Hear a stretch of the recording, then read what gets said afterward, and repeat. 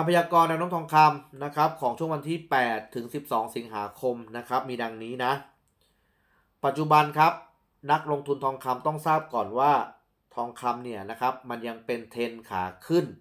ระยะกลางบวกยาวอยู่นะครับ ก็แน่นอนครับสองแรงแข่งขันนะครับ ทองคำก็ยังมีโอกาสที่จะปรับตัวดีตัวขึ้นต่อได้อีกนะครับ แต่ตอนนี้นะครับ แน่นอนมันมีการเสียสมดุลแล้วนะครับทำให้จุดสับขาหลอก หรือว่าจุดเปลี่ยนเทนขาลงระยะกลางเนี่ยนะครับ ปัจจุบันนะครับมันย้ายตำแหน่งนะ จากเดิมเนี่ยอยู่ที่ 1,750 เหรียญนนะครับ ปัจจุบันเนี่ยก็ย้ายตำแหน่งมารออยู่ที่ 1,755 เหรียญแล้วก็จุดเปลี่ยนเทนขาลงระยะยาวครับ ก็ปัจจุบันครับอยู่ที่ตำแหน่งราคา 1,690 เหรียญนนะครับ กรอบราคาทองคำนะครับ ในอาทิตย์หน้านะ บอกเลยว่าก็คงหนีไม่พ้นนะครับ กรอบราคาที่ 1755 จนถึง 1795 นะครับ ซึ่งถ้าเกิด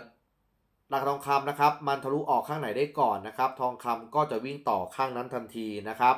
เป้าหมายกำไรขาขึ้นสูงสุดนะครับ ที่คำนวณได้นะ มองอยู่ที่ระดับราคา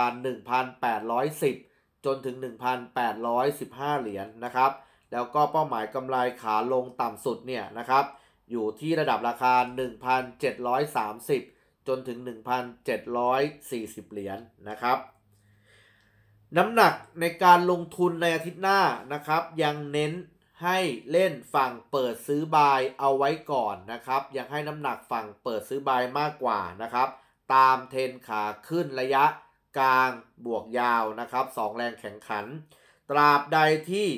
ราคาทองคำนะครับ ยังยืนเหนือราคา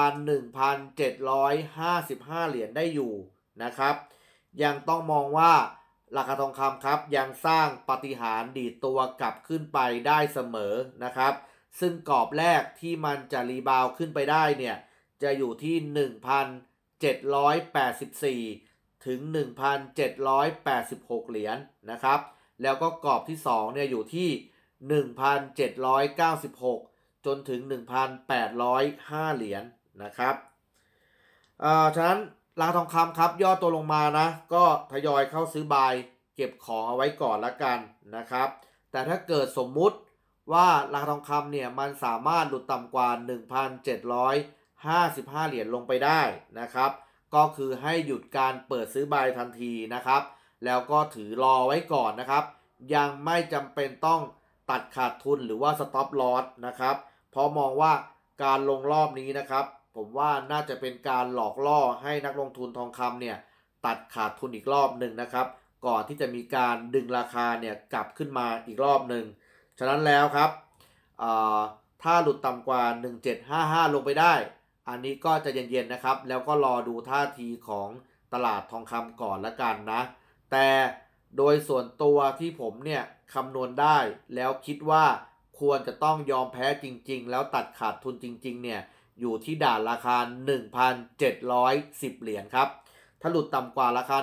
1,710 เหรียญลงไปได้เนี่ยนะครับ อันเนี้ยควรอาจจะต้องสต็อปลอสหรือว่ายอมแพ้จริง ๆ เพราะเนื่องจากว่าด่านราคา 1,710 เหรียญเนี่ยครับ มันเป็นจุดสตาร์ทของเทนขาลงระยะกลางอะของเทนขาลงระยะยาว นะครับอ่าโอเคตามนี้นะครับโอโอเคมีอะไรอีกไหมผมขออนุญาตไปช้าๆนะ เพราะกำลังดูเพื่อให้ทุกอย่างมันรัดกุมนะครับโอเค ฉะนั้นนั้นจำให้แม่นนะครับ ถ้าเกิดทองคำเนี่ยหลุดต่ำกว่า 1,710 เหรียญนนะครับ ตรงจุดนี้แหละมันจะเป็นจุดสตาร์ทหรือจุดเริ่มต้นของเทรนขาลงระยะยาวนะครับ โอเค อาทิตย์หน้านะครับ คาดการว่าทองคำเนี่ยน่าจะ sideway ในกรอบที่บอกเมื่อกี้แหละนะครับ ก็อยู่ในกรอบ 1755 จนถึง 1795 นะครับ ก็ถ้าเกิดมันยังไม่ทะลุออกข้างในข้างหนึ่งนะ ความชัดเจนของราคาทองคำเนี่ยนะครับ มันก็ยังไม่แน่นอนนะครับ ถ้าเกิดใครยังไม่พร้อมที่จะลงมาเล่นนะครับ หรือว่ามามาลงทุนนะครับอาทิตย์หน้าเนี่ยผมว่าก็อย่าเพิ่งลงสนามก็ได้นะครับ นั่งมองไปบางพางก่อนละกันนะครับ ฉะนั้น เรามาดูจุด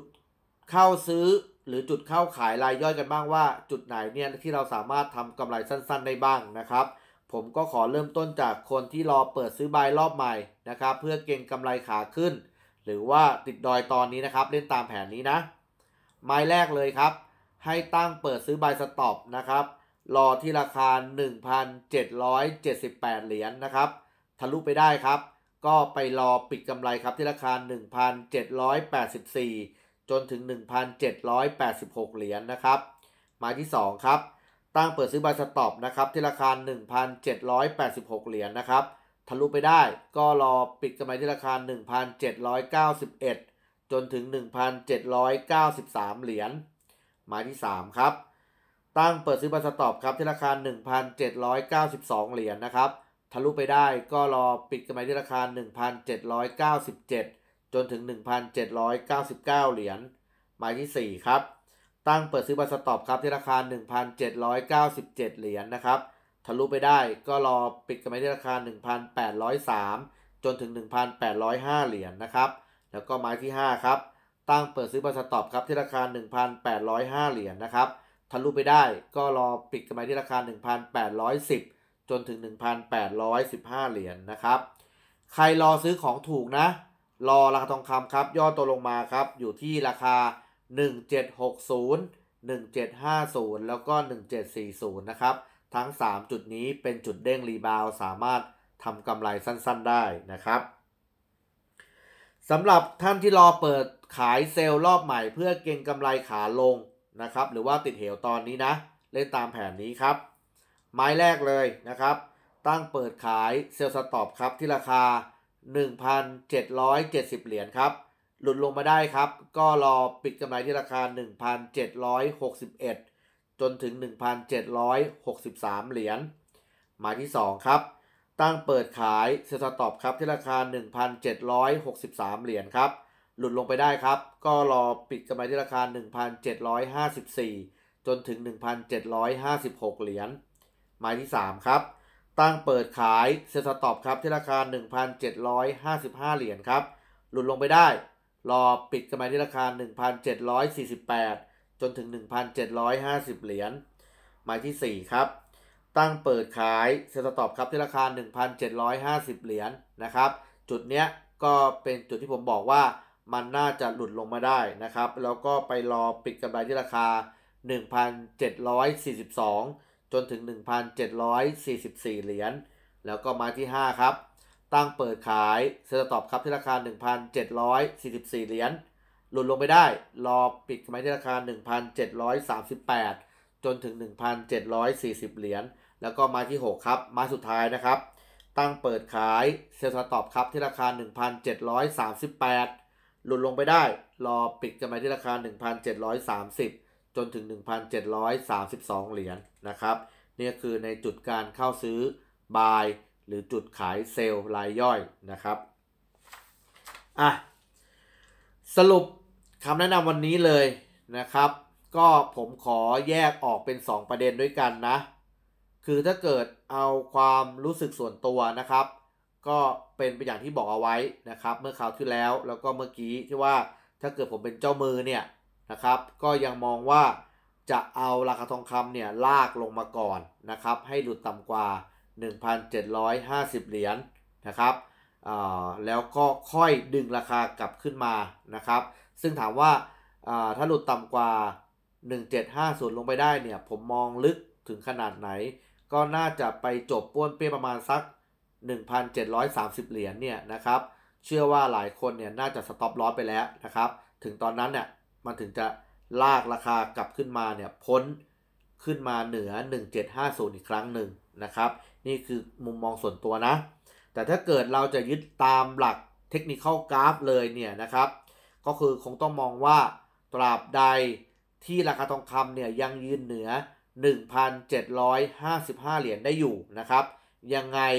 ต้องเสี่ยงเปิดซื้อบายเอาไว้ก่อนละกันนะครับ แต่ถึงแม้เนี่ยจะหลุดต่ำกว่าราคา 1,755 เหรียญลงมาได้นะครับ ทองคำเนี่ยเปลี่ยนเทรนเป็นขาลงระยะกลางก็จริงนะครับ แต่อย่าลืมว่า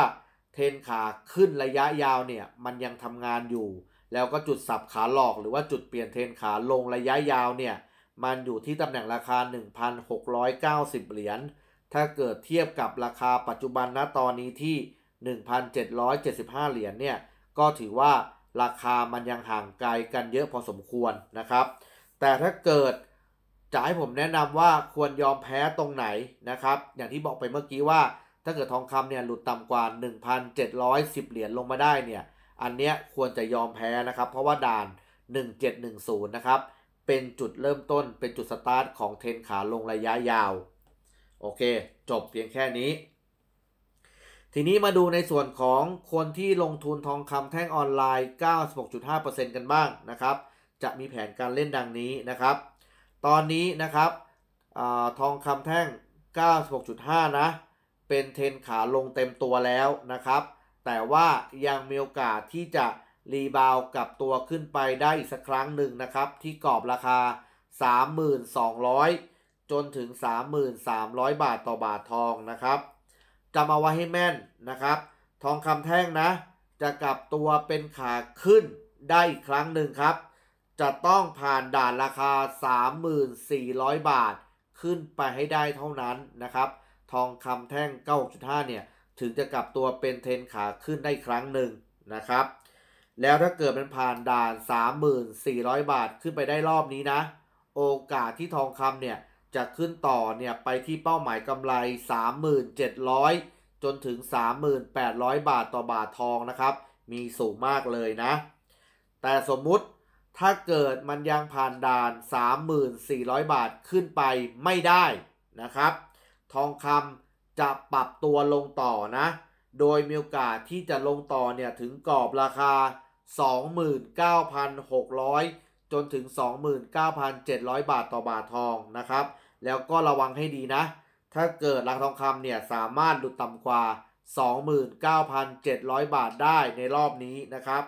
โอกาสที่ราคาทองคำเนี่ยจะปรับตัวลงแรงนะครับ ลงต่อได้ถึงระดับประมาณสัก 29,200 จนถึง 29,300 บาทเนี่ยมีสูงมากเช่นเดียวกันนะครับ ถ้าถามว่าอาทิตย์หน้า เปิดซื้อบายได้ไหมนะครับ ในส่วนของทองคำแท่ง9.5 นะ อาจารย์เติ้งตอบเลยว่า ซื้อได้ครับ ซื้อเลยในอาทิตย์หน้านะ ก็ทองคำเนี่ยยังมีโอกาสที่จะดีตัวขึ้นไป สามารถทำกำไรสั้นๆได้นะครับ แต่ถ้าเกิดราคาทองคำครับ มันหลุดต่ำกว่า 29,900 บาทลงไปได้ ควรจะตัดขาดทุนหรือว่าสต็อปลอสออกไปก่อนนะครับ ราะถ้าเกิดมันหลุดต่ำกว่า 29,900 บาทลงไปได้เนี่ย มันจะเกิดสัญญาณเทขายนะครับ ฉะนั้นผมขอสรุปแบบนี้เลยนะ ในส่วนของทองคำแท่งนะครับ ตราบใดที่ราคาทองคำครับยังรีบาวขึ้นไปนะ ไม่ผ่านด่าน 3,400 บาทต่อบาททองนะครับ เน้นให้เปิดขายเซลล์เป็นหลักเอาไว้ก่อนนะครับ แล้วถ้าเกิดราคาทองคำเนี่ยสามารถหลุดต่ำกว่า 29,900 บาทลงไปได้ด้วย เปิดขายเซลล์แบบหมดหน้าตักได้เลยนะครับ แต่ถ้าเกิดกลับกันราคาทองคำเนี่ยมันสามารถทะลุด่าน 3,400 บาทขึ้นไปได้นะครับ อันนี้ก็คือต้องยอมแพ้แล้วก็กลับหน้าเล่นนะครับ เป็นฝั่งเปิดซื้อบายแทนนะครับ แล้วก็ไปรอปิดกำไรเนี่ยในกรอบสัก 3,700 จนถึง 3,800 บาทต่อบาททองได้เลยนะครับ เพื่อว่าชดเชยกำไรที่ขาดทุนไปเมื่อกี้ได้นะครับ ก็คงมีแค่นี้อะหมดแล้วนะครับสำหรับในอาทิตย์หน้านะ ก็เดี๋ยวมาดูกันว่าจะเป็นไปตามแผนที่ผมวางเอาไว้ให้หรือไม่อย่างไรนะครับ ถ้าเกิดมีอะไรผิดแผน หรือมีอะไรที่ต้องเพิ่มเติมนะครับ เดี๋ยวผมจะกลับมาทำรายการให้ในช่วงของคลิปเฉพาะกิจนะ ไม่วันพุธก็วันพฤหัสนะครับ ยังไงก็กด subscribe กดติดตามมาไว้แล้วกันนะครับ เจอกันใหม่ครับในวันพุธหรือไม่ก็วันพฤหัสครับ สวัสดีครับ